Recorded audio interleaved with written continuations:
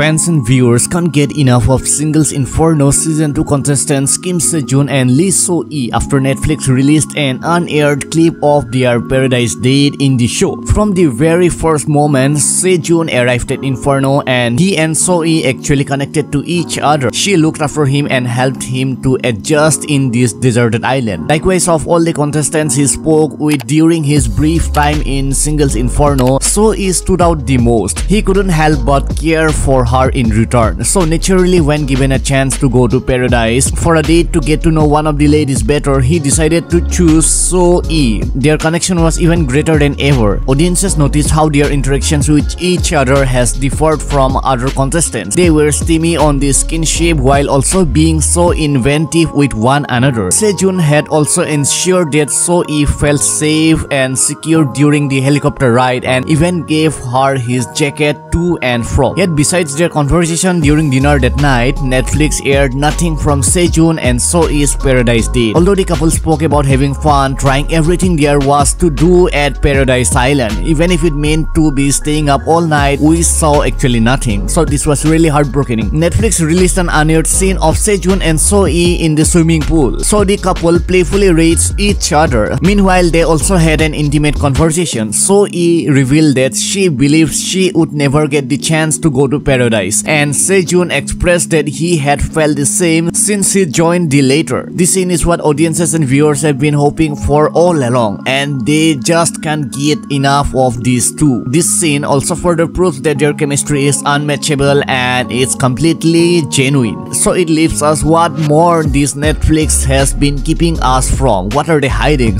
So let us know what you think in this comment section down below and I will get back to you with a response. So guys that's all for today. I hope you enjoyed this video. Do give a thumbs up to this video. Also subscribe to the channel. Hit the notification bell because this really makes me motivated to make new videos for you. So if you want to know what happened with Lee Jong Suk during his fan meet then do watch this video right now.